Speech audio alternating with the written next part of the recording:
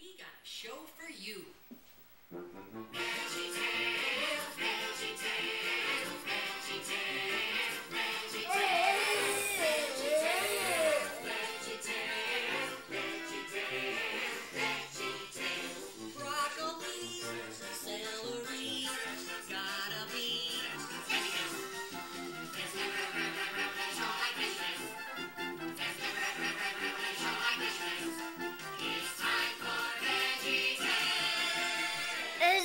it?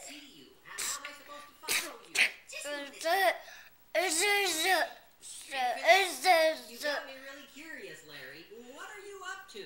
You'll see.